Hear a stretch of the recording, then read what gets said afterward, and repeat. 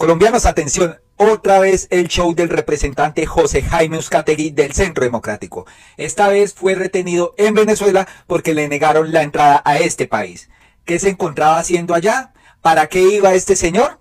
Pues resulta que los rumores dicen que este señor pues tenía los documentos incompletos para ingresar a ese país. También dicen que se hizo pasar como negociador del ELN. Otra vez este señor con su show. Ahora aprovechará esto para decir que el régimen de Maduro es el peor que tienen, que no dejan ni a la oposición ingresar al país. Por supuesto, señores, que van a pretender que este señor ingresara al país para filmar y después utilizar estos videos de Venezuela en contra de Gustavo Petro. ¿Eso quería el señor Uzcategui? Pues vamos a conocer la historia de lo que pasó. Resulta que este congresista iba a realizar una labor de observación política sobre los diálogos que sostiene el gobierno del presidente Petro con el ELN. ¿Ah? Colombianos. Iba a ver cómo era la cuestión. Desde el mediodía del viernes 19 de abril, el equipo de trabajo y familiares del representante a la Cámara del Centro Democrático, José Jaime Uzcategui, no lo pudieron contactar. Según informaron, el congresista quedó incomunicado después de que arribó al aeropuerto internacional de Maiquetía Simón Bolívar de Caracas. Parece ser que cuando llegó un agente de migración le impidió ingresar al país en ese momento. Uzcategui alcanzó a comunicarse con su equipo de Bogotá solicitándoles que contactaran a la Cancillería colombiana para averiguar lo que estaba sucediendo. En el video que grabó un miembro de su equipo se observa a un agente pidiéndole al congresista apagar su celular. Desde ese momento solo se sabía que Uzcategui fue retenido. Miremos el video cuando pues Uzcategui se pronunció. Por favor averigüe porque yo estoy aquí con migración y me dicen que no puedo ingresar. ¿Qué tengo que hacer? Ya me van a, a, para Colombia, que porque no estamos autorizados para ingresar al país, pero si esa comunicación se dio con más de una semana de anticipación. Ya mismo llamo a Cancillería, José. Por favor. Aquí estoy. Ni siquiera me permiten utilizar el teléfono. Si soy diplomático, porque tengo pasaporte oficial. Por favor. Sí, pero señor Castillo, yo estoy comunicado con las autoridades de Colombia. Yo mandé una carta con muchísima anticipación. Oh, yo mandé una carta con muchísima anticipación. Sí, yo, yo paso.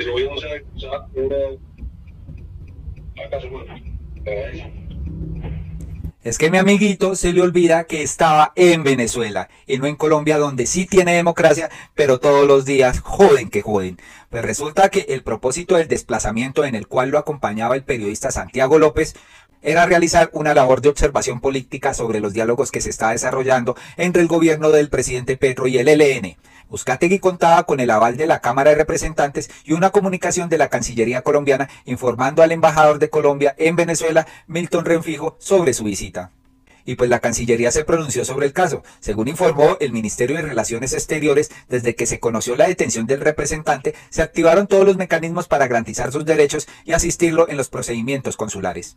Dicen acá, el canciller encargado, Luis Gilberto Murillo, se comunicó con su homólogo Iván Gil, a quien enteró de la situación y solicitó dar claridad de forma inmediata de los hechos que estaban ocurriendo al tiempo que expresó su preocupación. En esos momentos, el embajador Renfijo y la cónsul de Colombia en Caracas, Fulvia Benavides, estaban adelantando las gestiones consulares respectivas. ¿Y qué pasó, señores? Pues devolvieron a este señor del país, ¿no? Pues resulta que después de esto, Iván Duque reaccionó frente a esto y dijo, el representante del Congreso colombiano, Jaime Uzcategui, fue detenido sin motivo por la dictadura de Nicolás Maduro. Esta detención constituye una violación de la soberanía del Congreso colombiano. Ah, hágame el bendito favor. Y lo más curioso de esto es que el presidente de la Cámara de Representantes también habló en su momento de una desaparición del congresista y no era una desaparición, estaba retenido por migración de Venezuela. Aquí, pues, Andrés Calle escribía un comunicado. Rechazó contundentemente la desaparición del representante José Jaime Uzcategui en Venezuela. Como presidente de la Cámara de Representantes de Colombia, elevó al gobierno nacional y al canciller Luis Gilberto Murillo un mensaje de urgencia para que prontamente se dé con el paradero y el estado del representante José Jaime Uzcategui, quien salió en ejercicio de sus funciones a Venezuela. Es lo que decía aquí Andrés Calle, ¿no? Pues David Porras publicó unas fotografías del congresista cuando estaba detenido allá, ¿no? Y dice acá, el congresista del Centro Democrático Jaime Uzcategui mintió en su ingreso a Venezuela, haciéndose pasar por negociador del Estado colombiano en las negociaciones de paz con el ELN. Si esto hubiera ocurrido en Estados Unidos, estaría preso por el delito de perjurio, pero como pasó en Venezuela, regresa al día de hoy a Colombia en un vuelo de Copa Airlines. Aquí estaba el señor y muy preocupado por la situación. Se fue a meter las narices donde nadie lo ha llamado, ¿ah? Con tal de perjudicar al gobierno de Petro. Ingrid Betancourt, por supuesto. Con horror recibimos las fotos del secuestro, ¿ah? Disfrazado de arresto del representante Jaime Skategui quien viajó a supervisar el controvertido proceso electoral venezolano. Esta aquí está diciendo otra cosa. A revisar el proceso electoral, la otra versión es a mirar cómo van los acuerdos del ELN con el gobierno. Entonces, ¿a quién le creemos? El Congreso de la República, pues, ha sido irrespetado por quien pretende ser aliado de Petro. Nos solidarizamos con su familia, amigos y colegas de partido. Con sentido democrático y dolor de patria, acusamos al criminal dictador Maduro. Exigimos su pronto regreso. Aquí había otra foto del señor preocupado también ahí en migración. Señores, es que creen que pueden meter las narices allá en Venezuela, ¿no? Increíble. Hacer y deshacer como lo hacen aquí en Colombia, donde se les permite una democracia. Pero allá es otro cuento, ¿no? Pluralidad también dice José Jaime Oscategui tratándose de tirar de los juzgados de palo quemado. Es que este, ese señor siempre ha sido un chucero, ¿no? Aquí hace todo tipo de artimañas para llamar la atención, escándalos y demás. Y allá en Venezuela, miren cómo estaba, asustadito, ¿no? Qué belleza, colombianos. Y pues acá le dice otra persona, el golpista del uribismo José Jaime Oscategui fue a Venezuela a espiar al gobierno bolivariano de Nicolás Maduro y fue capturado por mentiroso y que a verificar la mesa de diálogo con el ELN. Cárcel para este criminal. Soy negociador de la mesa de diálogos, presuntamente dijo esto allá en Venezuela. Pues Wally también se pronunció. Ay, estos payasitos y sus shows. Nada raro de los Uzcategui. El mediocre representante sin justificación quería ir a la mesa de negociación con el LN sin ser invitado. Está sentadito con todas las garantías esperando avión para volver a Colombia y así seguir payaseándose aquí. Vamos a escuchar qué decían. Y la Cancillería de Colombia brinda asistencia al representante a la Cámara Jaime Uzcategui, quien aterrizó en Caracas, Venezuela, a las 3 de la tarde de este viernes y al momento de realizar los procedimientos migratorios correspondientes, las autoridades lo inadmitieron. Desde el momento en que el gobierno colombiano se enteró de la situación, activó todos los canales diplomáticos y consulares para asistir al parlamentario y garantizar sus derechos. El canciller encargado Luis Gilberto Murillo se comunicó con su homólogo Iván Gil, a quien se enteró de la situación y solicitó dar claridad de forma inmediata de los hechos que estaban ocurriendo, al tiempo que expresó su preocupación por la decisión de las autoridades venezolanas. ¿Cómo les parece esta noticia, señores? Y pues después llegó el chaucero a decir de todo, ¿no? diciendo que había sido retenido durante 15 horas en Caracas y donde le quitaron su pasaporte y su celular pidió la suspensión de la mesa de diálogos con el ELN y el gobierno. Ya rapidito lo llevamos a hacer caso porque lo retuvieron por no tener su documentación al día, ¿no? Por el permiso para ir a verificar estos diálogos. Increíble. El show, ¿no? El show por todo lado. Desde hace más de un mes al embajador de Venezuela aquí en Bogotá, a la Cancillería, a todas las autoridades, que estaba dispuesto a viajar a Cuba, a perdón, a Caracas, como lo había hecho en Cuba en el mes de febrero, para participar como observador de las negociaciones con el ELN. Yo hago parte de la Comisión de Paz del Congreso, yo hago parte del Consejo Nacional de Paz, yo hago parte del Consejo de Derechos Humanos y asistía con esa razón. La plenaria de la Cámara me autorizó la yo hablé con Cancillería, me mandaron un oficio donde me dijeron que el embajador Milton Rengifo en Caracas me iba a estar esperando. Y al llegar fue la sorpresa, llegando a las 3 de la tarde, presento mi pasaporte oficial y de un momento a otro me dicen que no tengo autorizado el ingreso y que debo esperar. En ese momento trato de averiguar un poco más y es cuando el inspector venezolano me quita el celular y me dice que a partir de ese momento debo esperar porque voy a ser deportado. Fueron 15 horas en una sala de seguridad del aeropuerto al quitarme el celular no tenía cómo comunicarme con mi familia. El embajador de Colombia en Caracas jamás se acercó a decirme qué estaba pasando. Las autoridades tampoco lo hicieron y me tocó esperar hasta hoy a las 3 de la mañana para subirme en un avión y venirme hasta Bogotá pasando por Panamá. Representante, la mesa de diálogo sabía que usted iba en calidad de veedor. Por supuesto, yo me encontré con el senador Iván Cepeda en el aeropuerto. Él estaba enterado de mi asistencia a través de un escrito me dijeron que no me iban a dar un estatus formal de observador, pero él sabía que así como yo lo había hecho en Cuba, iba a asistir si me tocaba en calidad de turista, pero cuál es el secretismo alrededor de las negociaciones con el ELN. ¿Por qué les incomoda tanto que yo asista con estas fotografías? Este era mi único interés, entregarle estas fotografías al senador Iván Cepeda y a Vera Grave para que a la hora de firmar cualquier nuevo acuerdo, así sea parcial con el ELN, pongan como condición la liberación de estas personas. Esto lo que iba a hacer este señor era asistir a esta mesa de diálogos y mientras lo estaban filmando iba a sacar estas fotografías para hacer un show mediático. Él está acostumbrado a hacer este tipo de shows. Pues se le dañó la jugadita a este congresista Uzcategui, ¿no? Que quería hacer de las suyas allá en Venezuela y no lo dejaron. Al infante de Marina Bernardo Beltrán dijeron que no estaba autorizado por el gobierno venezolano y ahorita me están diciendo que si había alguna inconsistencia en la documentación, ninguna. Yo envié todos mis documentos con más de un mes de anticipación a la embajada de Venezuela aquí en Colombia y ellos estaban completamente enterados de mi asistencia. Apenas usted aterrizó a Caracas, ¿qué fue lo primero que le dijeron? Que le, le, señalaron porque le quitaron el pasaporte y el celular y lo encerraron 15 horas en una sala del aeropuerto. Yo estaba plenamente identificado. Presenté mi pasaporte oficial que me identifica como congresista. Incluso este pasaporte por lo general le permiten ingreso por la sala diplomática y al presentar mi pasaporte ni siquiera me preguntaron que yo a qué iba. Simplemente me dijeron que había una anotación, que yo no podía ingresar a territorio venezolano y que me debía subir en el siguiente vuelo hacia Bogotá o hacia Panamá, que era la escala que yo había tomado desde ese momento me quitan el celular, me dejan incomunicado y durante 15 horas estuve retenido de forma arbitraria, ilegal, abusiva. Me tenían un custodio que me tenía que acompañar hasta para ir al baño cuando yo no soy un criminal, yo soy un congresista de Colombia, yo no tengo antecedentes ni en mi país ni en el exterior como para que me den un tratamiento como ese. ¿Cómo puede pues, pues demande a Nicolás Maduro, demande al régimen porque lo más próximo que este señor diga es que es culpa de Gustavo Petro o que Gustavo Petro mandó a negarle la salida cuando no tiene jurisdicción en ese país, ¿no? Aquí también decía, ya está en Colombia José Jaime Uzcategui, quien le pidió al presidente Gustavo Petro que suspenda las negociaciones. ¿Cómo puede ser Venezuela garante de unos diálogos de paz cuando se persigue y con discursos de odio se estigmatiza en este caso a un congresista de la oposición? porque Iván Cepeda sí puede entrar como Pedro por su casa a territorio venezolano, al igual que el presidente Petro, y yo por ser un congresista de oposición no tengo las mismas garantías cuando se está hablando de la paz de mi país. Yo desde aquí le pido al presidente Petro formalmente que suspenda las negociaciones con el, con el ELN hasta que se deje en libertad a estas personas que se cuentan por docenas, que están secuestradas por parte de esta guerrilla y que la delegación de gobierno no dice absolutamente nada. ¿Ustedes qué piensan de lo que dice aquí Jaime Uzcategui? Ah, por supuesto, el jefe de jefes Álvaro Uribe Vélez le dijo aquí al señor Uzcategui y al gobierno. El joven José Jaime Uzcategui es excelente persona, excelente representante a la Cámara, tiene carácter. Que ha ratificado que para ingresar donde Maduro se necesita permiso de los simpatizantes o afiliados al narcoterrorismo. Miren quién habla, ¿no? El que va a ser imputado, señores, imputado. También resulta que este señor Álvaro Uribe Vélez está súper desesperado porque irá a juicio y no sabe qué hacer, qué alternativa tomar, cómo hacer un escándalo mediático. Tanto así que Semana le ayuda publicando titulares que ya han pasado, que ya pues se han desestimado y este señor pues empieza a hacer ruido con esto, ¿no?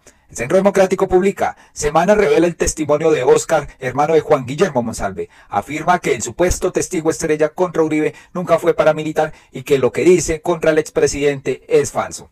A lo que el señor Miguel Ángel del Río desmiente a Semana, desmiente a Álvaro Uribe Vélez, desmiente al Centro Democrático y dice, este testimonio es viejo y fue desechado por dos jueces de la República y el Tribunal Superior de Bogotá al negar la preclusión.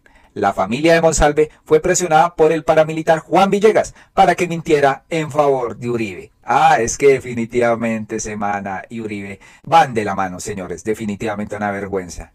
¿Y qué ha pasado con la marcha? Pues muchas personas uribistas de extrema derecha, el señor pues eh, Luna, están haciendo todo lo imposible para sacar a la gente con mentiras a marchar, señores. Dice acá Santiago Osorio, la marcha del próximo 21 de abril es un insulto a la inteligencia de los colombianos. La oposición que hoy está citando a estas marchas ha tenido la oportunidad a través del Congreso de la República de legislar a favor o en contra de las diferentes reformas, pero no han querido. Se han dedicado a suspender las plenarias, a desbaratar el quórum para que precisamente no se den los debates. Se dedicaron al plan Tortuga. Escuchen lo que dice aquí Santiago Osorio. La marcha del próximo 21 de abril es una absoluta vergüenza y es un insulto a la inteligencia de los colombianos. Y no porque yo esté en contra de las marchas, todo lo contrario, soy un defensor acérrimo de que la ciudadanía pueda hacer defender sus derechos a través de la protesta y de la marcha. Es un insulto a la inteligencia de los colombianos porque esa oposición que hoy está citando a esas marchas ha tenido la oportunidad a través del Congreso de la República de legislar a favor o en contra de las diferentes reformas. Pero ¿a qué se han dedicado? Se han dedicado, número uno, a suspender las plenarias y a desbaratar los quórum para que precisamente no se den los debates. Se han dedicado a hacer una especie de plan tortuga en el Congreso de la República para que las reformas sean archivadas y de manera descarada y degenerada le han quitado la oportunidad a los colombianos a través de un Congreso de la República que eligieron a través del voto de dar la discusión precisamente con altura y con argumentación de estas reformas. Hoy, ¿qué quiere esa oposición? Esa oposición quiere posicionar un mensaje incendiar, pero no solo eso, pensar en las próximas elecciones, mientras los que estamos en el Congreso dando las discusiones, estamos pensando en las futuras generaciones. Es pura verdad lo que dice aquí este señor. Definitivamente no saben cómo sabotear las cosas. David Luna, por supuesto, dice, nos vemos mañana domingo para caminar en la paz, sin egos, sin causas políticas, sin importar si usted es de centro, de izquierda, de derecha o apolítico. Vamos como ciudadanos y con firmeza para defender la democracia de nuestro país. Vamos a ver qué mentiras dice. Es un segundo mensaje para los empresarios, los comerciantes, los emprendedores y los empleados. Yo sé que la situación está muy difícil. Los insumos aumentaron de precio. La carga tributaria es muy pesada. Están trabajando el doble y no ven utilidades. Algunos incluso están perdiendo mucho dinero. Han tenido que despedir empleados y su sueño de seguir creciendo pareciera truncarse. Este señor, ¿por qué dice tantas mentiras cuando se ve totalmente lo contrario? Los insumos han bajado, sobre todo los agrarios, sobre todo los agrarios, gracias al trato que hizo Monómeros con el presidente Gustavo Petro y Venezuela. Increíble cómo este señor se dedica a mentir. Cuando las empresas crecen, crece el país. Pero esto lamentablemente no lo entiende el presidente, que ha decidido tener al sector privado como su enemigo. Ojo la cifra, en 2023 hubo un máximo histórico. Más de 1.400 empresas solicitaron entrar a la ley de quiebras. Si no nos ponemos las pilas, tendrá una reforma laboral que incluso podrá poner las cosas mucho más difíciles. Vuelvo y lo repito, y perdón por lo monotemático, el único interés de Petro es reelegirse, crear una enorme estructura política con los impuestos que ustedes pagan y exprimirlos hasta donde más pueda, mientras que él manda señales equívocas que empeoran nuestra economía. Por eso, este domingo 21 de abril los invito a que salgan a marchar, todos a marchar. Den un primer paso, metas en la política, defiendan la democracia, salgamos a marchar, a insistir, a exigir y sobre todo a rechazar el embeleco del presidente de reelegirse. Necesitamos que alcen su voz y que la alcen desde las calles y desde la política. ¿Ustedes qué piensan sobre esta convocatoria a la marcha? ¿Saldrá a marchar colombiano? Ya conocen las historias que hay detrás de esto, ¿no? Jennifer Pedraza, por supuesto, la líder de marchas, dice que no va a salir a marchar. Su justificación es la siguiente. Aunque estoy tremendamente decepcionada de este gobierno y le he puesto la lupa desde el Congreso, el Centro Democrático y Cambio Radical son fuerzas del pasado a las que no hay que regresar, porque son también responsables de la crisis económica y social del país. Algo de razón tiene esta señora, ¿no? Sé que más allá de las afinidades políticas muchas personas saldrán. No generalizo ni estigmatizo y como siempre saludo la movilización social como parte del necesario fortalecimiento de la cultura política y pues el presidente debería escuchar el descontento creciente y generalizado. A lo que le dicen aquí a la señora.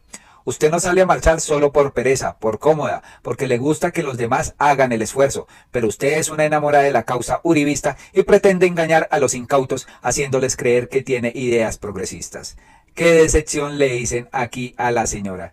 Y otra de las que decepciona es la señora, la señora Ingrid Betancourt. Se inventaron una canción para marchar el 21. Esta gente no se cansa de hacer el oso. Tienen que ver esto. Un pedacito nomás porque es insoportable. rusas y francesas. Venga, pásame el caviar y después del.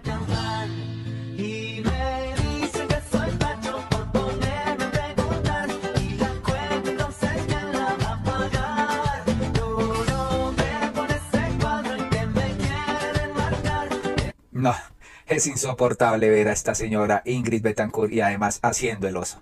Otro de los que hizo el oso convocando a las marchas es Eduardo Zapateiro. Qué increíble que este señor desde un cementerio, utilizando la memoria de los soldados, pues invite a marchar. Ah, creando rabia. Increíble. Él dice acá, colombianos de manera pacífica y con respeto a la constitución, todos a marchar por Colombia el domingo 21. Miremos qué dice. colombianos, desde este campo santo, donde yacen sepultados todos los héroes de la patria que ofrendaron sus vidas por estar defendiendo la democracia de esta nación. Los quiero invitar este 21 de abril, domingo, con todas sus familias, para que vayamos y podamos exigir que seamos gobernados, liderados con respeto, con sabiduría, con inteligencia, para seguir siendo esa nación respetada, soberana y libre, y que basa siempre esta gobernanza en principios y valores. Colombia, patria mía, te llevo con amor en mi corazón. ¡Viva Colombia! Patria, honor, lealtad. ¡Ajúa! ¿Qué opinan? Sin palabras, ¿no?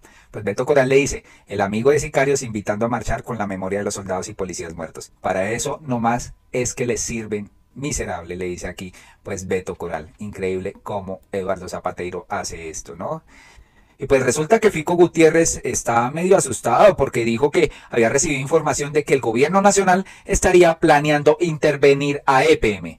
Y decía, no existiría fundamento alguno para que se tome esta decisión, que sería catastrófica no solamente para Medellín, sino para Colombia. EPM hoy genera el 23% de la energía del país. Pido al gobierno nacional que dé claridad sobre el tema. El país no puede seguir en medio de tanta incertidumbre. Y pues acá le contesta el mismo ministro Andrés Camacho de Minas que todo lo que está diciendo este señor es mentira, ¿no?